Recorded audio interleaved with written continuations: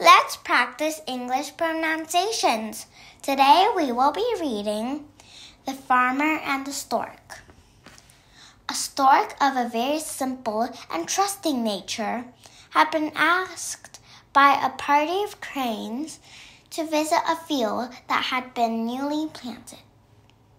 But the party ended smelly with all the birds entangled in the meshes of the farmer's net. The stork begged the farmer to spare him. Please let me go, he pleaded. I belong to a stork family who you know are honest and birds of good character.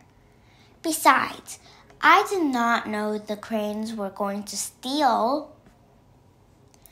You may be a very good bird, answered the farmer, but I caught you with the thieving cranes, and you will have to share the same punishment with them.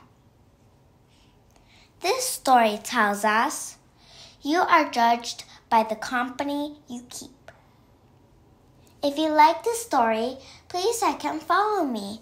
Bye.